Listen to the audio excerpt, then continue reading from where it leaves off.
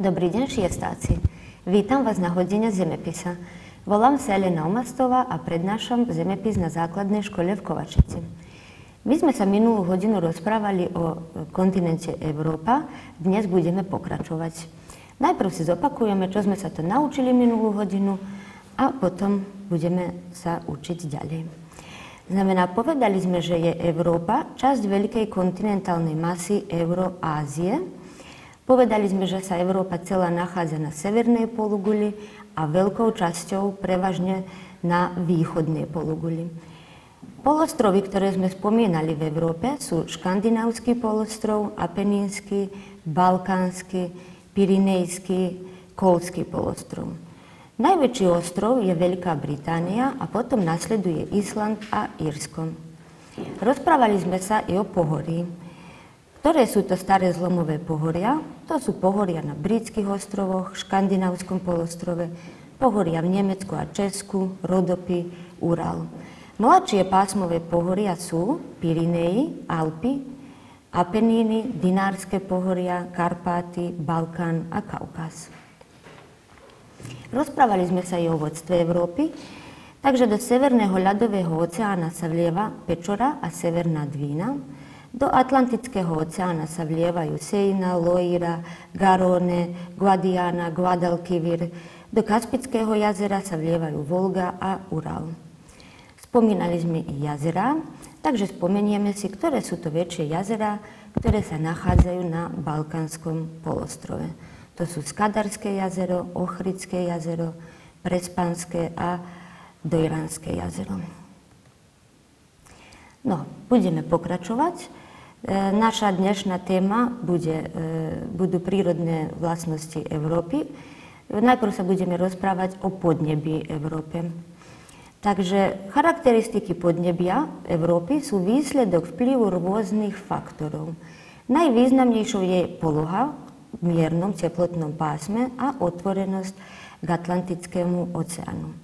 Na mape vidíme predstavené podnebia Európe, E, takže sivou farbou na severe Európy nám je znázornené subpolárne podnebie, modrou farbou e, atlantické podnebie, znamená časť západnej Európy otvorená k Atlantickému oceánu. Zelenou farbou nám je vyznačené mierne kontinentálne podnebie, hnedou e, kontinentálne podnebie a žltou farbou nám je vyznačené stredozemné podnebie. My si teraz povieme pár slov o každom tomto podnebí. Takže subpolárne podnebie majú najsevernejšie časti Európy. E, aké je to podnebie? Zimy sú tu dlhé a tuhé a trvajú 9 až 10 mesiacov. Letá sú krátke a veľmi studené. Znamená, na severe Európy sa nachádza vyskytuje sa subpolárne podnebie. Horské podnebie. Horské podnebie sa vyskytuje na vysokých pohoriach. Pre horské podnebie sú príznačné krátke a chladné leta a dlhé studené a snežné zimy. Kde sa vyskytuje horské podnebie v Európe? My sme sa už rozprávali o pohorí. Znamená, vyskytuje sa na Pyrenéjach, Dinárskych pohorí, Alpách, Apenínach, Karpátach, Kaukaze. Vyskytuje sa aj na ostatných vyšších pohorí. My sme si spomenuli iba tieto. Znamená horské podnebie, e, krátke a chladné leta a studené snežné zimy. Atlantické podnebie Atlantické podnebie je príznačné pre západné časti Európy. Atlantický oceán a teplý golfský prúd pôsobia zmierňujúce. Povieme si niečo o golfskom prúde. Znamená, e, teplý golfský prúd pochádza z Mexického záliva na území Ameriky. Cez Atlantický oceán prichádza e, ku pobrežiam Európy a následky, že sú to vlastne veľké, sú to vlastne veľké množstva teplej vody a následky toho sú, že skadiaľ, odkiaľ prechádza teplý golský prúd, tam pobrežie nezmrzne. Aké je tu podnebie? Leta sú svieže a zimy mierne. Zrážky sú hojné. Mierne kontinentálne podnebie je najpríznačnejšie pre strednú Európu. Označené. E, táto časť je už vzdialenejšia od Atlantického oceánu, takže je aj zrážok menej. Leta sú teplejšie a zimy chladnejšie a so snehom. Kontinentálne podnebie je príznačné pre krajiny východnej Európy, znamená posunuli sme sa na východ. Vplyv Atlantického oceánu sa takmer ani nepociťuje. Zrážok je čoraz menej od západu na východ. Znamená, zrážok je menej, ako sa vzdialujeme od Atlantického oceánu. Stredozemné podnebie, alebo môžeme ešte povedať mediteránne podnebie, sa vyskytuje v najväčšej časti južnej Európy okolo Stredozemného mora. E, pre toto podnebie sú príznačné dlhé, horúce a suché leta a krátke, mierne a vlhké zimy. Sneh je zriedkavým javom. Podnebie je veľmi príjemné pre život ľudí a je to najslnečnejší európsky región. Znamená, v južnej Európe sa vyskytuje stredozemné podnebie, e, horúce, dlhé, suché leta a mierne a vlhké zimy. No to by bolo o podnebi. E, teraz sa porozprávame o rastlinstve Európy. E, rastlinstvo Európy súvisí s podnebím. Rozšírenosť rastlinstva závisí najviac od podnebných podmienok. Európa je husto osídlený kontinent a človek vo veľkej miere ovplyvnil rastlinný svet. Kločoval lesy, vysúšal močiarné oblasti a utváral obrábateľnú pôdu, prenášal rôzne rastlinné kultúry z iných kontinentov a rozširoval ich. To značne pozmenilo prírodnú vegetáciu. Vidíme mapu, Teraz sa porozprávame, ktoré vegetačné pásma sa kde rozprestierajú. Takže na severe jasnejšou modrou farbou máme označené e, pásmo tundry na severe. Trochu južnejšie modrou farbou je označené pásmo, ktoré sa menuje tajga. Zelenou farbou sú označené opadavé a zmiešané lesy beľavou farbou nám je označené stredomorské rastlinstvo, hnedou farbou e, oblasť step a žltou farbou vysokohorské rastlinstvo. Teraz si povieme tiež pár slov o každom tomto vegetačnom pásme. E, znamená, prvé pásmo, o ktorom sa porozprávame, bude, budú tundry. Na krajnom severe Európy sa vyskytujú tundry. E, už sme povedali, že tu podnebie chladné, že zimy trvajú 9 až 10 mesiacov e, do roka. Takže rastlinný svet sa vyvíja počas krátkeho leta, keď sa stopí tenká vrstva zmrznutej pôdy. Predstavitelia tohto vegetačného pásma sú machorasty a lišajníky. Trochu južnejšie od e, pásma tundry sa nachádza pásmo tajgy. E, najväčšia časť Európy je pod pásmom lesov. V severnom Rusku a Škandinávii sú rozľahlé ihličnaté lesy, ktoré menujeme tajgy. Južnejšie sa ihličnaté stromy miešajú s opadavými a prevahu naďalej majú opadavé lesy. Vidíme označené na mape, znamená tajgy a južnejšie sa nachádzajú opadavé a zmiešané lesy. Znamená, tajgy sú oblasti ihličnatých lesov. Stepy. Stepy sú oblasti s nízkou trávou. E, tieto oblasti najväčšie priestranstva zaberajú vo východoeurópskej, panonskej nižine, valašskej nižine, Najväčšia časť stepy je pozmenená na obrábateľné plochy. V najjužnejších častiach Európy sa vyvinula špecifická vždy zelená stredozemná vegetácia. Už sme sa rozprávali, že je podnebie tu najteplejšie, že je to najslnečnejší región, takže je e, i rastlinstvo e, vždy zelené a špecifické pre, túto, pre, tú, pre tento región.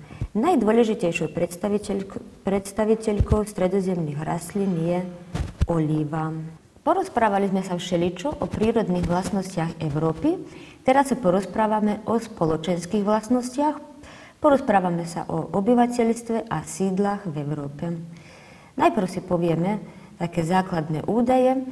Takže v Európe podľa údajov z roku 2011 žije približne 740 miliónov obyvateľov. Rozmiestnenie obyvateľov je nerovnomerné.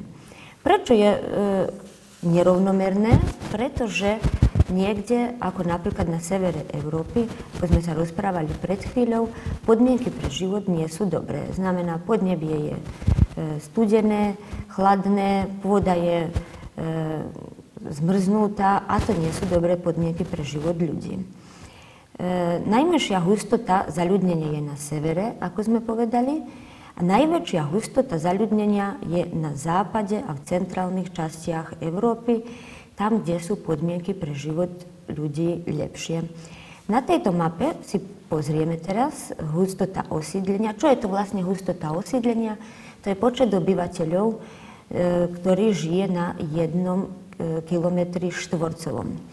Takže žltou a bľadou zelenou farbou nám je označená hustota najmenšia hustota. Znamená, vidíme, že je to na severe Európy, ako sme sa rozprávali pred chvíľou, kde nie sú podmienky pre život dobré, takže je tu hustota osídlenia najmenšia. Znamená najmenší, najmenej počet obyvateľov po kilometri štvorcovom.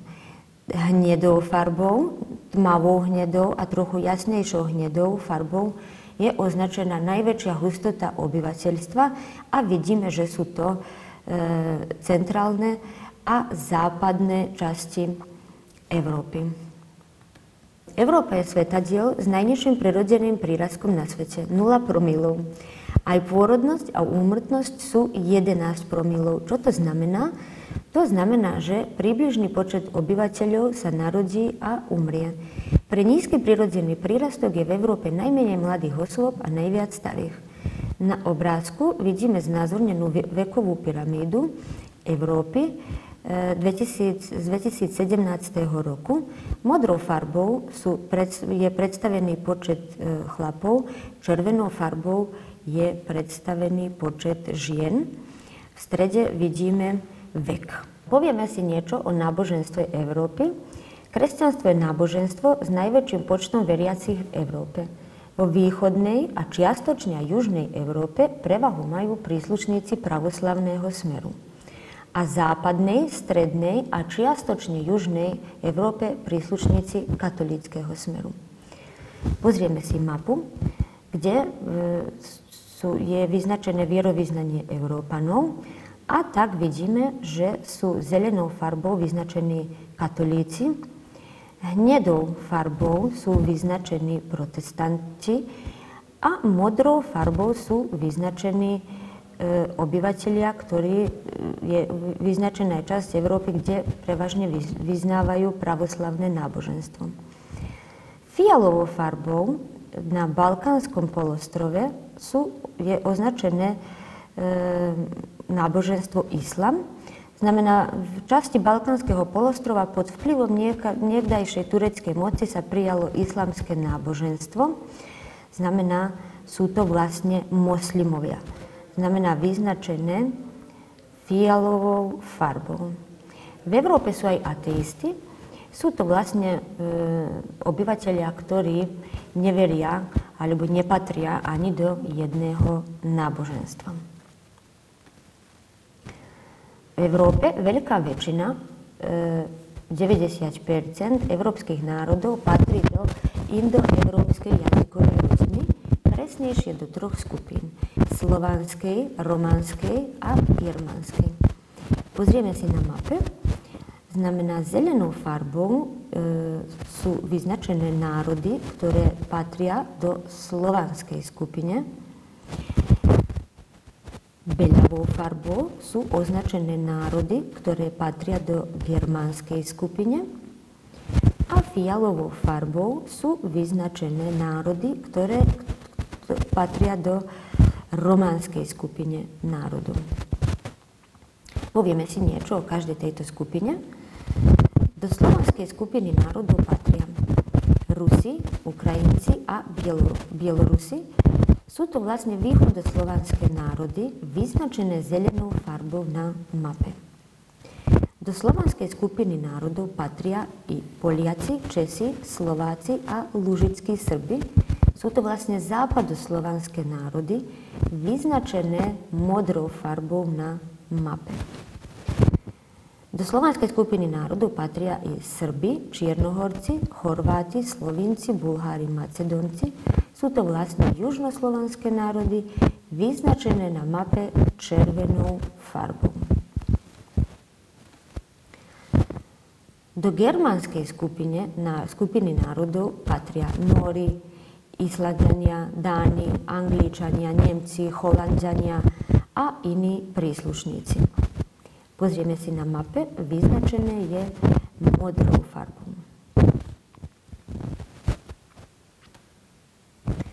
Do románskej skupiny národov patria, tiež pozrieme si na mape, vidíme mapu, sú to Taliani, Francúzi, Španieli, Portugalci a Rumúni. Okrem národov Okrem národov z tejto rodiny v Európe žijú aj Fíni, Estonci a Maďari. Oni patria do ugrofínskej skupiny národov.